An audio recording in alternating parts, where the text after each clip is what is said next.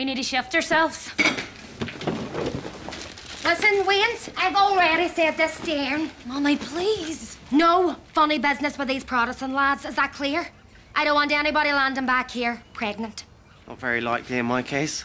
I wouldn't rule it out, son. As some of you may know, I took a bit of a sabbatical last year. Do you mean when you shacked up with a slut hairdresser, but then she dumped you? Miss Mallon, please. Raise your hand if you want to ask a question. Okay, I think we should just move on. The hairdresser certainly did. Hume has again called for cross-party peace talks. this John's really dying for peace, like, isn't he? It's all he ever goes on about.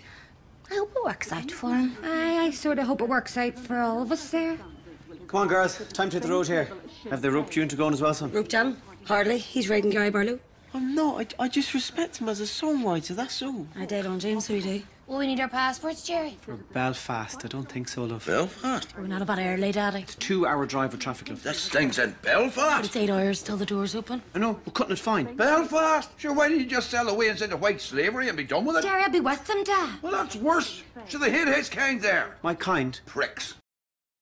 Okay, so this is just a little exercise I like to kick off with. Oh, Give me strength.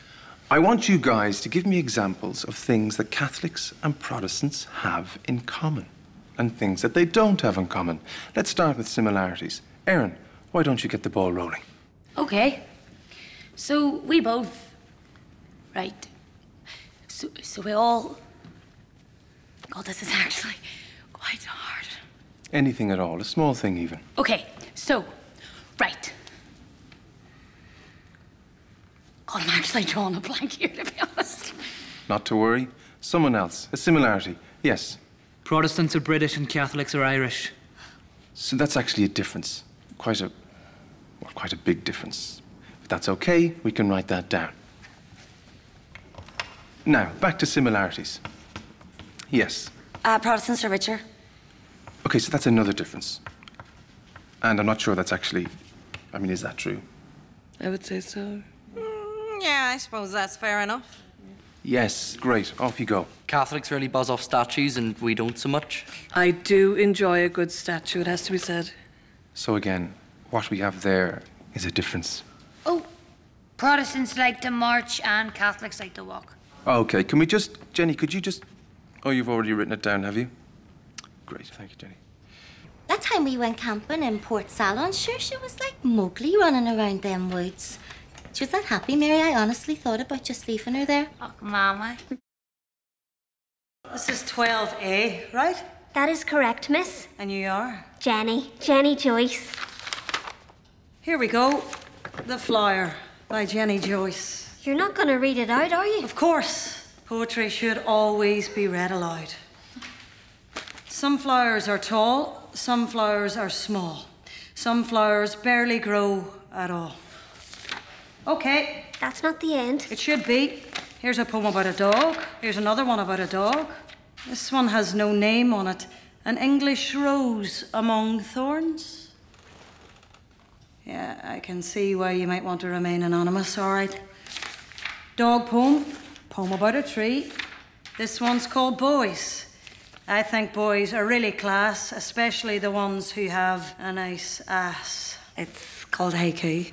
That's not what I would call it. Dog poem, dog poem. Oh, here someone's just drawn a picture of a dog. That is not bad, actually. Thank you very much. They're going to the concert, Dad, and that's the end of the matter. Finally, panic at Belfast Zoo today when a polar bear escaped from its enclosure.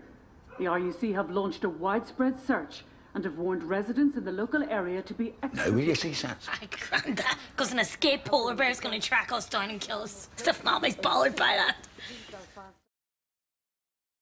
As if a polar bear's gonna rock up and attack that concert. You wouldn't get a ticket for a start. They sold out months ago. You'd be surprised, girls. Aye, the old boys could get in where drafts wouldn't. Sure, the concert's nowhere near the zoo. But he's not in the zoo anymore, is he, Simple Simon? He's sauntering about Belfast without a care in the world. I keep up, Gerry. What I'm saying is that it would be quite a lot of ground for him to cover. They're quick on their feet when they want to be, love. Someone might give them a lift. Whose side are you on, Orla? Come on, Mary. If you don't let Erin go, then our mass won't let us go. Well, neither they should. And I'd be ringing them to say as much. Oh, brilliant! I hate my life. Look, girls, I know how much you were looking forward to seeing this and that. Take that. But there'll be other concerts. No, there won't. The fact that this one's happening is a miracle. Nobody good ever comes here because we keep killing each other. And now we're overrun with polar bears. Where will it end? Seriously! Right, listen, Gears. I've never told anyone this before, but sometimes when Robbie's being interviewed, it's like he's sending me messages through the TV. You know, like telepathically or whatever. It's like he's saying, we're meant to be together. I maybe don't tell that to anyone again, Michelle. I just want to pause and think about what's in here. What about the fact that we all feel and love and hope and. Write this down. We all cry. We all laugh. We all dream. So I just want to think along those lines for a moment. Okay? Catholics watch RTE. Protestants love cleaning. Protestants are taller. Catholics have more freckles. Protestants hate ABBA. Okay, thank you. Let me just rephrase slightly. Can you think of anything that unites every single person in this room? Is there anything that we all want? For this to be over. And we'll wrap it up there. Fancy another beer, mate? Of I just love beer. Don't you just love beer? Yeah, beer's nice. I love beer and football and poker and, you know, tits. Tits? Can't get enough of them. Well, Then again, I am a lad. Yeah, you may be a lad, John, but I can offer you protection. I have a hunting knife. Right, okay. Wait, wait, wait. Where you going? Nature's calling. Whoa! Number one or number two? Excuse me? Just answer the question, John. I don't want to answer the question. I'm not comfortable with the question. Because if it's a number two, it's safer to bury it. You don't want a pack of wolves following your scent out in these parts. Those boys, they'll tear you limb from limb. We're inside. Very sophisticated noses, John. I'm gonna go now. Can't you let me have anything for myself? No. She's coming. Hey, the woman, the small angry penguin woman. Sister Michael!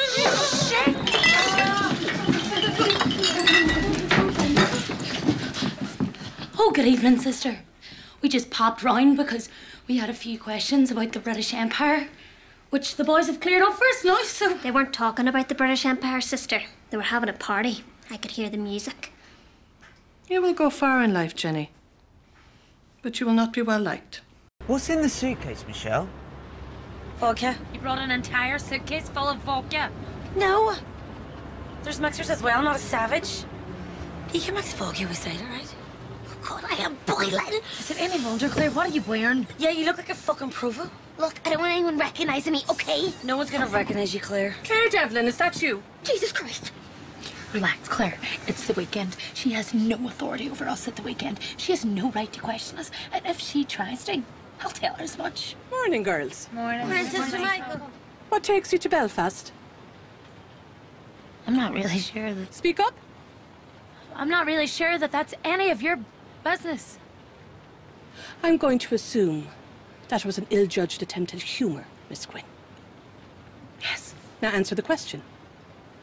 We're going to the museum. Which museum? Ulster Museum. What for? A project, a history project. What about? Ulster? God, this whole writing from the soul carry-on is a nightmare. I know. What rhymes with ride? Bide? Bide. What the fuck does bide mean? Bide? That's not a word. It is a word, Michelle. Bide. You've pure made that up. The voice of Mr. Adams. His words are spoken by an actor. Well, with respect, and I mean, if you're watching. I will never understand the point of that. I'll never understand the point of view. Grandson. What do you think, James? You've got red eyes because I ran out of brine. My eyes are green. No, you tell me.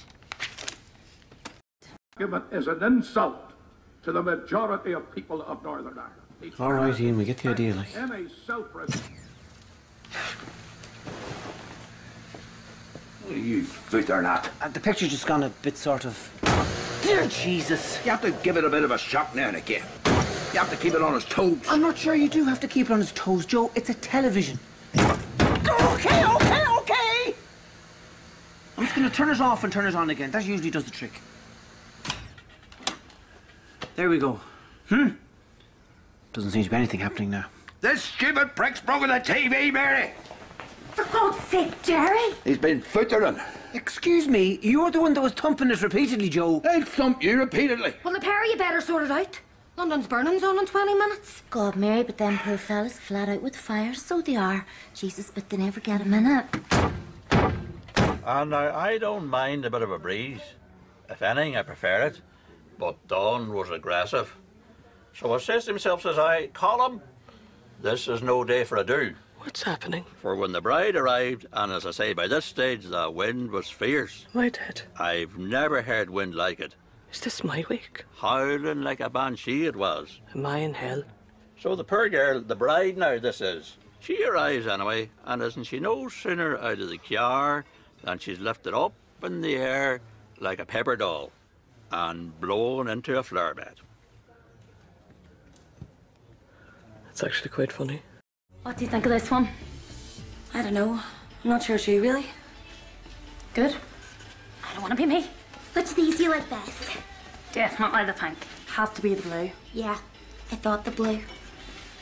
This doesn't do my babs any justice. Have you decided who you're bringing yet? Well, I've already done two. There's Big Johnny Kales who works in Dunnes. Thick as fuck, but a massive, massive right. Then there's this other fella. He's not as thick, but he's also not as hot. Although I have heard he is really good with his hands. And when I say he's good with his hands, I'm not talking about putting up shelves, girls. I'm talking about Everybody knows what you're talking about, Michelle. fingering. Honestly. All right. I hope you don't mind, Mrs. Quinn, but Oh, Kathy, it's yourself. Long time, girls. It is indeed. And fair play to you, Kathy. You've kept them eyebrows ship shape, so you have. Credit where credit's due. Oh, you're too kind, Sarah. I'm serious, they're in great nick. That must be some comfort to you. I'm sorry? We heard about your wee divorce. Nightmare. Yeah, it was a difficult decision, but Paul, my ex, well, he just became so controlling. Jesus, really? He was unbearable towards the end. It was always, oh, Kathy, why did you stay out all night? Or who was that man you were having dinner with, Kathy? He was very insecure. Wonder why? I mean, James's father was the same. I just seem to attract the possessive, jealous types. I don't know what it is. The eyebrows. And I hate to impose on you, but um, I just need to make a quick call. And unbelievably, my sister doesn't have a phone. She got rid of it when we wrecked up that massive bell ringing Russell Grant's horoscope hotline. Doesn't see that coming. It really makes you think, doesn't it? Death. Just, just makes you want to do everything and just like, try everything. What's going on, Michelle? Do you want to see something, class? What is it? Prepare yourself, girls. Scones. That's right. What's so class about scones? Scones are lovely. I, I like scones. No, these aren't any old scones, girls. These are funny scones. Aye, they do look like a crack in fairness. Funny scones. They're jug scones! She's put the jugs in the scones! Too fucking right I have. I wanted to do brownies, but this was the only recipe my ma had, so... We talked about this, Michelle. We agreed. No, we didn't. Anyway, drugs aren't illegal when you put them into food. Everybody knows that. is that right? I'm not sure that's right. Any cups up here? I take that.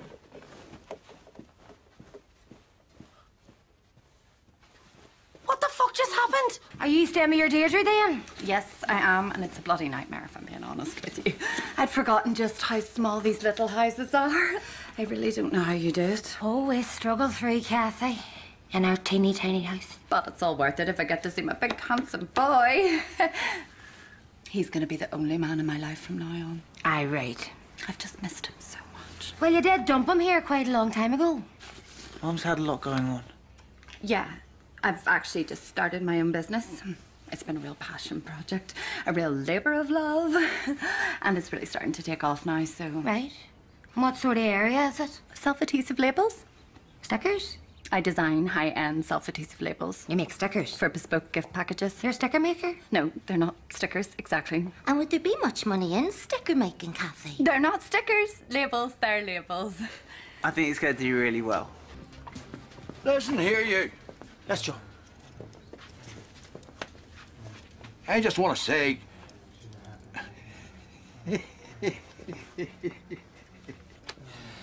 I think you're doing a fine job. Keep up the good work.